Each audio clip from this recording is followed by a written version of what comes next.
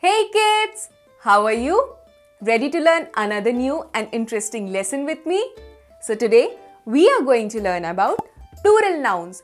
So plural noun is a word which means more of something that can be a person, a place, an idea or a thing. For example, pen. Pen is a singular noun but pens is a plural noun. Book is a singular noun but books is a plural noun. Woman. Woman means one female but women means two or more female. In the same way, man.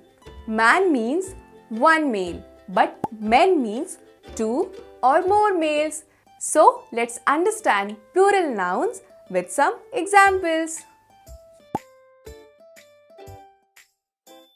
So Rudy, our first example of plural noun is we saw a lot of bird or birds.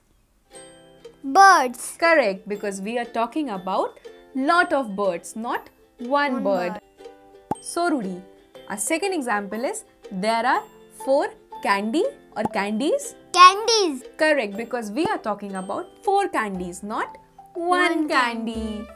There are so many book or books. Books. Correct, because we are talking about so many books, not one book. I have a lot of friend or friends. Friends. Correct, because we are not talking about one friend, we are talking about lots of friends. So therefore, friends is a plural hmm. noun. So, I hope you are very clear that what are plural nouns.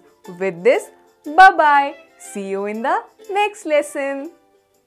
Please like, share and subscribe to our channel. Thank you.